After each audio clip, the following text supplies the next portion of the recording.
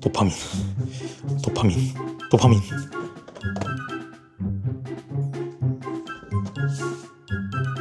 그 회사 CPU 취향이구나. 으아, 아니야.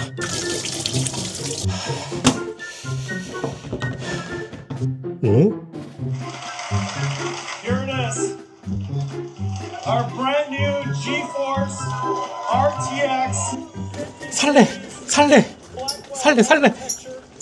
그래서 오늘은 GeForce RTX 5080 뱅가드 모델을 사용을 해볼 겁니다. 이제까지 MSI 그래픽카드가 벤투스, 트리오, 최상위, 슈프림 이렇게 올라갔는데 이번에 새로 뱅가드라는 라인업이 생겨가지고 벤투스, 트리오, 뱅가드, 슈프림 이렇게 네 가지 라인업으로 이제 만들어졌어요. 이쪽에 보면은 SOC라는 글자가 있죠. super overclock의 약자라고 하는데 뱅가드와 슈프림만 들어간다고 해요. 이쪽에 보면은 아예 박스가 안 뜯어진 걸 보니까 어 그냥 새고 상태 그대로 보내줬구나. 최대한 예쁘게 뜯고 싶은데? 오, 오 안 돼 안 돼 안 돼. 아 왜 박스가 뜯어져?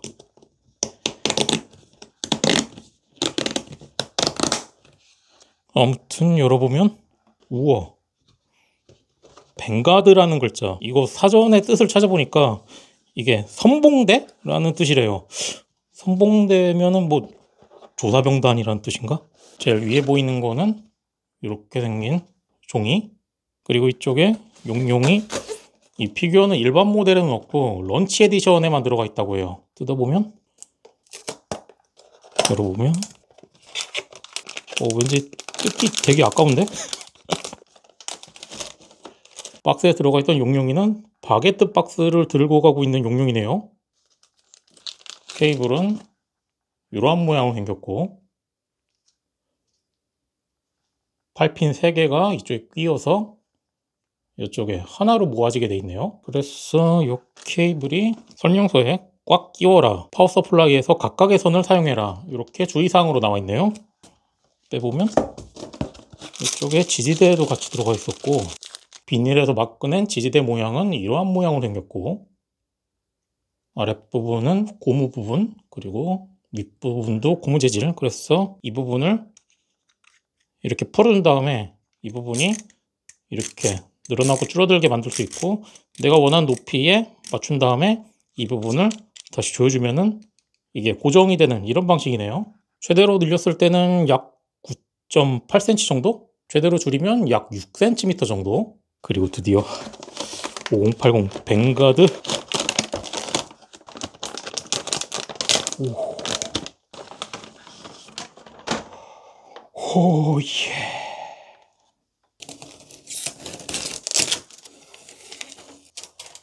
먼저 디자인을 살펴보면 위쪽의 펜 부분은 이렇게 옆면은 이렇게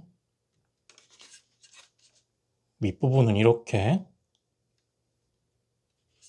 안쪽의 옆부분은 이렇게 이쪽은 이렇게 그리고 단자 부분은 이렇게 backplate 이쪽 부분을 자세히 보면 BIOS 스위치가 있는데 조용한 모드, gaming 모드 두 가지가 있는데 기본 상태는 조용한 모드로 스위치가 돼 있네요. 그리고 제가 중요하게 보는 게 backplate 부분인데 backplate가 달려 있냐가 중요한 게 아니라 backplate가 달려 있으면서 thermal pad로 열 전달을 하게 만들어주는 구조냐인데 이게 지금 카메라로는 잘 보일지 모르겠는데 플래시를 좀 켜보면 이 backplate 사이에 thermal pad가 달려 있거든요. 이쪽 중간에 두껍게.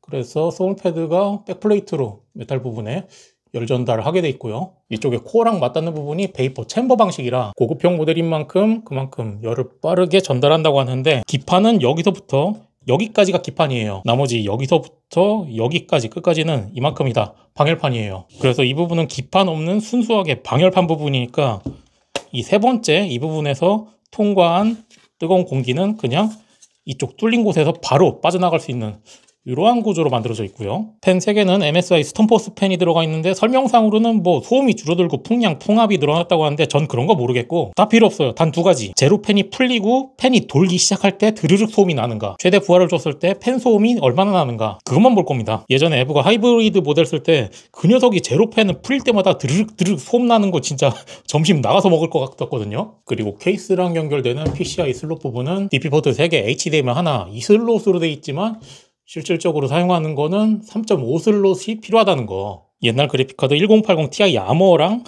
사이즈를 대략적으로 비교해 보면 네 어마어마하게 차이가 나죠. 그러면 이제 장착을 해보죠. 컴퓨터를 좋아하는 사람이라면 지포스 그래픽카드가 새로 나올 때마다 나오자마자 사야 되나 아니면 기다려야 되나 하루에도 수십 번 자신의 통장을 보면서 고민을 하게 됩니다. 물론 저도 마찬가지고요. 일단 저는 5090 나오자마자 살려고 지금 대기 중입니다. 영상을 찍고 있는 현재 기준 5090 벤치마크가 이미 다 공개가 된 상태고 성능에 대해서는 뭐 찬반 양론이 있긴 하지만 자 옛말에 있습니다. 역사는 반복된다. 3000 시리즈 초기 구매자 결과는 승리자. 4000 시리즈 초기 구매자 결과는 승리자. 그럼 5000 시리즈 초기 구매자는 역사는 반복된다. 승리자. 저희 매수 타이밍은 언제나 정확하고 실패가 없을 거기 때문에 이번에 5000 시리즈 초기 구매도 실패 없이 완벽할 겁니다. 저는 지포스를 사 봤어요. 그런 놈이 도지코인 800층에 입주해 그리고 추가적으로 이 케이블이 너무 많이 아래로 꺾이면 안 된다는 거예요. 동그랗게 이렇게 완만하게 휘어져야 되는데 음 옆에서 보면은 조금 튀어나와 보이는데 테스트에 사용하고 있는 케이스는 P600S 케이스거든요. 이 녀석도 뭐 PCI 슬롯 이 거리가 짧은 편은 아닌데 PCI 슬롯 여기부터 거리를 재봤을 때 약 8cm 정도. 그래서 옆판을 끼워보면 어 닿는다. 케이블에 살짝 닿아요. smooth하게 닫히지는 않고 눌러서 닫으면 눌러서 닫으면 닫히는 정도. 그래서 케이블과의 안전한 거리를 위해서는 PCI 슬롯과 옆판까지의 거리가 최소 8cm, 좀 넉넉하게는 9cm 정도가 필요할 거라고 생각이 되네요. P600S는 PCI 슬롯 거리가 약 8cm. 그러면 제 메인 컴퓨터는 약 9cm. 오케이, 메인 컴퓨터는 문제 없겠구나. 제가 노리고 있는 후보 모델 중에 5090 Vanguard 모델도 있거든요. 5080 Vanguard랑 동일한 팬을 사용하기 때문에 제로펜 풀릴 때 드르륵 소음만 안 난다면은 5090 지름 순위에서 상위권을 차지하게 될 겁니다. 하지만 물론 사고 싶다고 살 수 있느냐가 문제긴 하지만 아무튼 파워 온. 오 이쪽 부분에 LED 나온다. 그리고 화면은 오케이. 역시 정주 한금손 윈도우 부팅해서 모양을 살펴보면 이쪽 팬 안쪽에서 LED가 나오고 있고 그리고 MSI 로고 쪽에 RGB 나오고 있고 이 밑에 쪽에서도 RGB가 출력이 되고 있고 옆에 MSI 용 모양에서도 RGB가 나오고 있고 그리고 잘 보이진 않는데 안쪽에 팬 쪽에서도 RGB가 나오고 있어요. 그리고 잠깐 팬을 확인하기 위해서 플래시를 켜보면 펜이 돌아가고 있는 걸 보면은 아마 제로 펜이 동작을 안 하는데 요거는 아마 드라이버를 설치하면 될 거예요. 5080이 알 수 없는 장치로 지금 드라이버가 안 잡혀 있는데 리뷰용으로 제공된 드라이버가 572.02 버전 이거를 설치를 해볼게요. 오케이 완료해서 드라이버 쪽에 들어가 보면 572.02 버전 드라이버가 설치됐으니까 제로펜이 동작하는지 확인을 해보면 오케이 팬 멈춰 있는 거 보니까 zero fan 동작을 하고요. 과연 zero fan에서 팬이 돌기 시작할 때 드르륵 소음이 안 나는지 그거를 확인을 해보죠. MSI 그래픽 조절 프로그램 MSI Afterburner 깔아주고 노턴은 필요가 없고 Afterburner만 설치. 다음, 다음, 다음 설치. 설치하고 바탕화면에 있는 MSI Afterburner 실행을 하면 오 최신 버전이라 그런가 뭔가 인터페이스가 바뀌었는데 이쪽에 auto로 되어 있는 걸 풀어주면은 팬을 속도를 내가 마음대로 지정을 할 수가 있을 거예요. 그래서 지금 이 auto 상태에서는 zero fan이 동작을 하니까 팬이 멈춰 있는데 요거 auto를 풀고 적용 눌러주면 네 이렇게 팬이 돌아요. 요거를 반복했을 때 과연 드르륵 소리가 안 나는지 확인해 볼게요.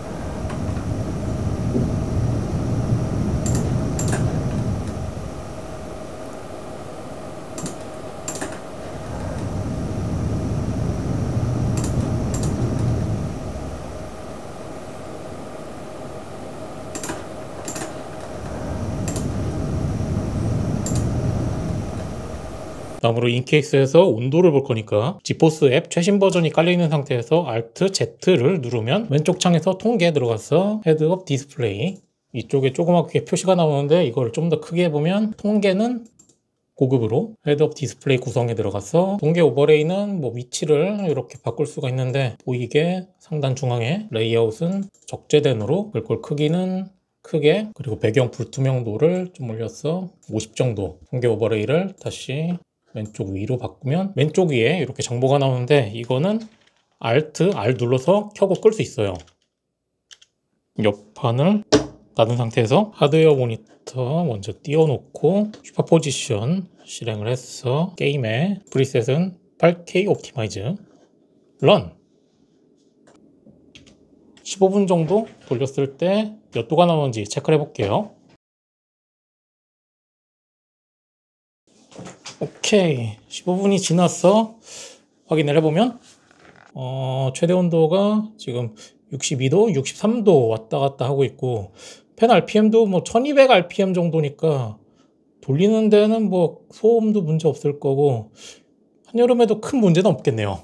그러면 Alt F4로 뿅 하고 나가서 하드웨어 인포 켜놨던 거 확인을 해보면 그리고 GPU 쪽은 64도 그리고 메모리 정션 온도는 최대 68도까지 올라갔었네요. 그렇다면 새 그래픽 카드가 왔으면 피해갈 수 없는 거. 세 번 이사를 했어도 찌르찌르찌르 매미가 언제나 살고 있는 1080 Ti 야모 한결같은 녀석이죠. 비교를 해볼게요.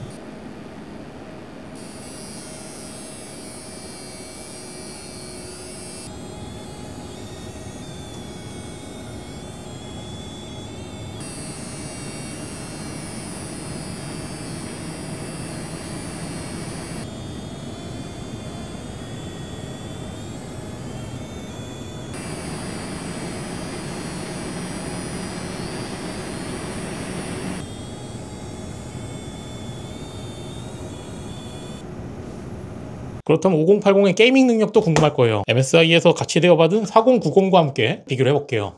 테스트 PC 사양은 GPU는 7800X 3D, 램 64기가에 6400 클럭, 동영상 캡처는 프레임 영향을 최소화를 위해서 PC 두 대를 사용해서 캡처보드로 따로 녹화를 했고요. 자, 먼저 3DMark부터 시작을 해봅니다. 제일 밑에 Fire Strike는 이제 구시대 유물 같은 벤치라 거의 사용하지 않지만 재미로 해봤고요. 하지만 최신 그래픽 카드들은 이렇게 점수로 나오는 벤치가 아니라 프레임으로 나오는 Steel Nomad를 기준으로 잡는다고 하더라고요. Steel Nomad에서는 약 12.98%의 프레임 차이가 있었어요. 3DMark는 점수놀이니까 뭐 아무튼 다음으로 Cyberpunk입니다. 오른쪽처럼 기본으로 잡아주는 DLSS 켜진 울트라 옵션과 DLSS를 끄고 native 옵션 두 가지를 먼저 비교를 해봤어요. DLSS Super Resolution preset을 보면 Transformer라는 모델이 선택되어 있는데 이게 이번에 새로 나온 DLSS4라고 합니다. 설명을 보면은 4000 시리즈에서도 적용이 된다고 하니까 오 전세대 사용자도 챙겨주네요. 아무튼 결과를 보면 4K 울트라 native 옵션에서는 평균 프레임 약 24.77%의 차이가 있어요. 퍼센트로만 보면 그렇지만 native 4K는 4090이나 5080이나 어차피 60프레임 아래이기 때문에 당연히 DLSS 적용으로 돌리게 될 거예요. 새로 나온 DLSS4가 적용되므로 native랑 DLSS 품질 차이가 뭐 거의 경화수월급이 돼 있기 때문에 DLSS를 지원하는 게임이라면 저는 대부분 켜고 사용을 하고요. 결과적으로 4K에서는 DLSS를 당연히 켜고 사용할 거니까 4090이나 5080이나 둘 다 여유롭게 60프레임을 넘어가기 때문에 원활한 플레이가 가능을 할 거예요. 그리고 자세히 보면 DLSS 적용 시 신기한 게 이게 전력 소비입니다. DLSS 전력 소비를 자세히 보면 오 이게 네이티브에서 돌리는 것보다 약 10% 정도 이상 전력 소비가 낮게 나와요. 오 이거 신기하네. 전력 소비가 줄어 드는 거 이건 개인적으로 매우 좋아하고요. 전력 소비는 내려가고 프레임은 올라가고 지원하는 게임이면은 이거는 안 켜는 게 손해일 정도네요. 오 대체 언제부터 DLSS를 안 쓰고 있다고 착각한 거지? 그리고 다음으로 5000 시리즈에서만 가능한 Multi Frame Generation 기능을 사용을 해봤어요. 두 가지 유형으로 사용할 수가 있는데 native 해상도에서 Frame Generation만 사용을 할 건지 또는 DLSS와 Frame Generation 두 가지를 같이 사용을 할 건지 결과를 보면 이게 프레임이 엄청 늘어납니다. 아니 이게 맞나 싶을 정도로 진짜 프레임이 엄청나게 올라가요. 4K native 평균 프레임 36프레임에서 DLSS 4배를 사용하면 249프레임까지 올라가는데 오. 이거에 대해서 찬반 양론이 있긴 한데 저 같은 경우는 이게 AI 기업답게 게임도 적극적으로 AI를 적용하는 거 저는 이거 긍정적으로 봅니다. 예전에 DLSS가 초창기부터 계속 발전해 나와가지고 지금은 안 쓰면 손해라는 느낌이 들듯이 나중 가면 프레임 제네레이션 또한 당연히 켜고 사용하는 기능으로 자리 잡을 겁니다. 그러면 4K 네이티브랑 4K DLS 프레임젠 4배 화면 차이는 과연 어떨까? 저는 처음에 화면을 이렇게 양옆에 두고 비교를 해보기 전에 뭐 이 정도면 차이를 쉽게 볼 수가 있겠지. 라고 생각했는데 오 이게 벤치마크 화면에서는 의외로 찾기가 힘들더라고요. 아마 사이버펑크 벤치마크 화면은 화면이 이렇게 부드럽게 움직이니까 이러한 이유도 있을 것 같긴 한데 아무튼 초창기가 이 정도라면 괜찮다고 봅니다. 나머지는 드라이버 업데이트가 됨으로써 Frame Generation 알고리즘도 같이 업데이트가 될 거니까 나중 가면은 급격한 화면에서도 개선을 뭐 당연히 해주겠지. 그것이 엔비디아 아니 황비디아니까 다음으로 Forza Horizon 5 옵션은 최고 높음으로 결과를 보면 포르자 호라이즌 4K 네이티브에서는 5080과 4090의 차이가 오, 의외로 크지가 않습니다. 약 5.56% 정도? 대신 4090 쪽이 전력 소비가 약 23%가 더 높기 때문에 Forza Horizon 5 native 4K에서는 5080 전성비에서 강점이 있네요. 그리고 신기하게 DLSS를 적용을 하고 나니까 프레임 차이가 약 2.31%로 더 줄어듭니다. 오 이게 게임마다 이렇게 차이가 안 나는 경우도 있구나. 전성비까지 감안한다면 Forza Horizon 5에서는 5080이 더 강점이 있다고 보면 되겠네요.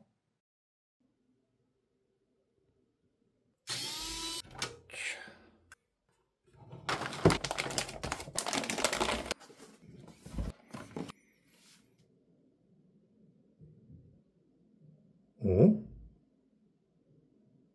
하, 연습이나 해볼까?